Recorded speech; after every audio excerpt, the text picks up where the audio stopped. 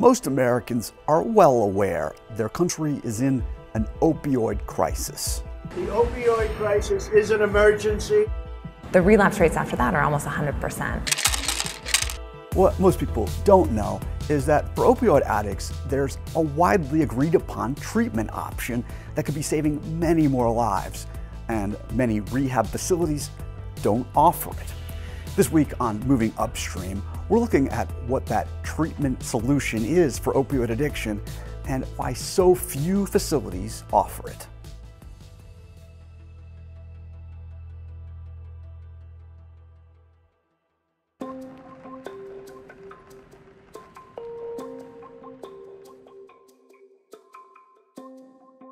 Whenever I get depressed, I go into a low peak where I won't talk. I'll sleep most of the time, and I'll just like hide myself. Like I'll go into my room and just not talk to anybody, go near anybody or anything like that. That's another thing of addiction, but we're not going to worry about that today.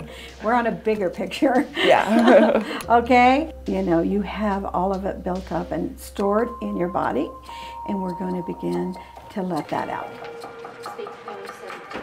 Let's start with Hannah Goldsberry, who lives in rural southern Colorado. A few months ago, she survived her fourth heroin overdose. If it wasn't for my friend finding me and calling 911, I probably wouldn't have woke up. Had your heart stopped? Yes. Your heart had stopped as well. Yeah. And they had oxygen on me and everything. That was my final and last. Wake up call. Yeah. After that wake up call, her father called Dr. Barbara Troy. He knew she was the only doctor in their area within six Colorado counties authorized to administer what's referred to as medication assisted treatment, or MAT. This is a group of drugs that help reduce opioid cravings. Dr. Troy put Goldsberry on a drug called Suboxone. It definitely helps on the cravings. You just recently got out of rehab. Like from today, two months ago. Goldsberry is 23 years old. Before she came to Dr. Troy, she went to four rehab programs that didn't provide MAT. Each time she went home, she relapsed. Why do you think you relapsed? Cause um, I'm really depressed and I was around the wrong people. She was honest and told me that she had relapsed. And then mm. within a couple weeks later, that's when she had the accidental OD. Dr. Troy says Goldsberry's case is typical of what she sees. One, they're back into their old environment where they were using. They have nothing to help with the cravings, and the cravings will drive them to use. Dr. Sarah Wakeman is the director of the substance abuse program at Massachusetts General Hospital.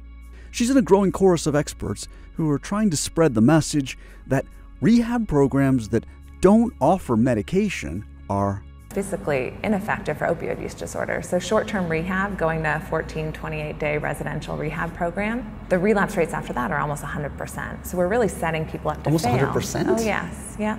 So you go away for 30 days and it's almost guaranteed that you're going to relapse. Yep, after your family may have spent $60,000 on said rehab program. Um, and so we're really setting people up to fail and then we blame them when they don't do well.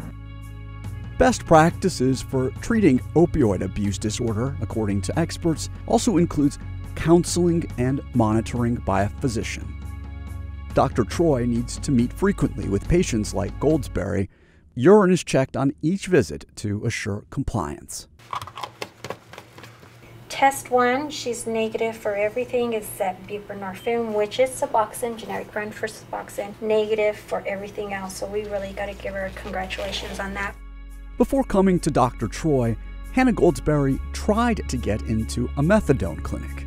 I tried getting into methadone and it was a three month wait. Three month wait. Could you wait three months? No. I would definitely go back and use. Like, straight up.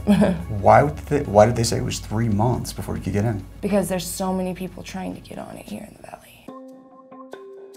That gets us to the question why isn't MAT easier for people like Hannah to access? Why aren't more Dr. Troys available? One reason the medications are highly regulated by the DEA. Doctors prescribe three medications to treat opioid addiction. The first is naltrexone. It blocks the brain's opioid receptors. The other two are methadone and buprenorphine. They're themselves opioids. They prevent painful withdrawal symptoms and suppress drug cravings. Methadone must be dispensed in clinics. Only authorized physicians can prescribe buprenorphine.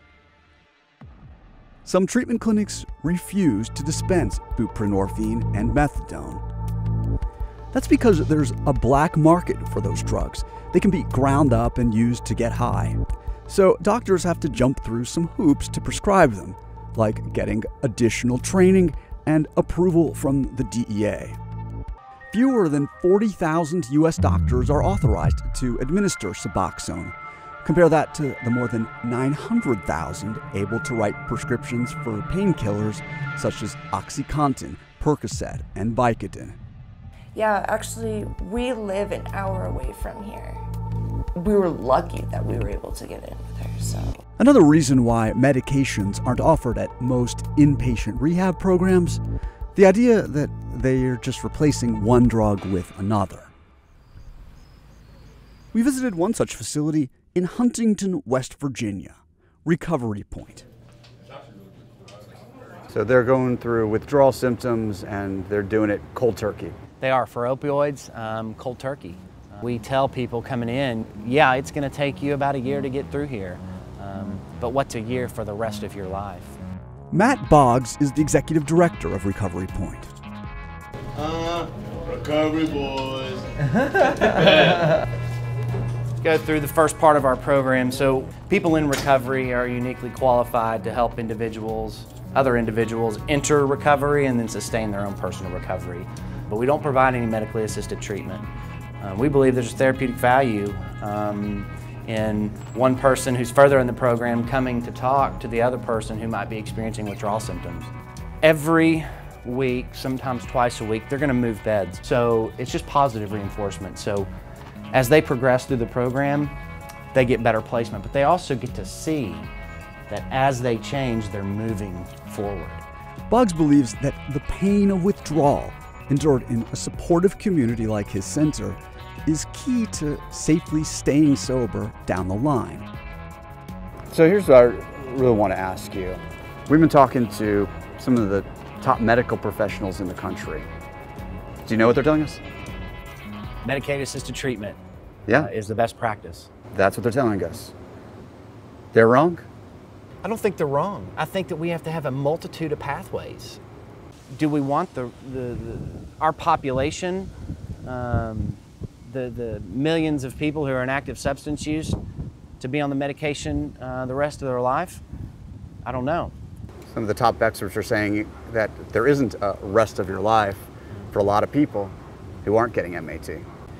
I think it's important for um, people entering recovery sometimes to remember where it came from. It's been over five and a half years since I've done any mood or mind altering substance.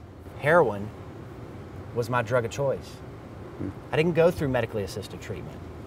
It's not to say that it can't work, but for me, that wasn't my pathway.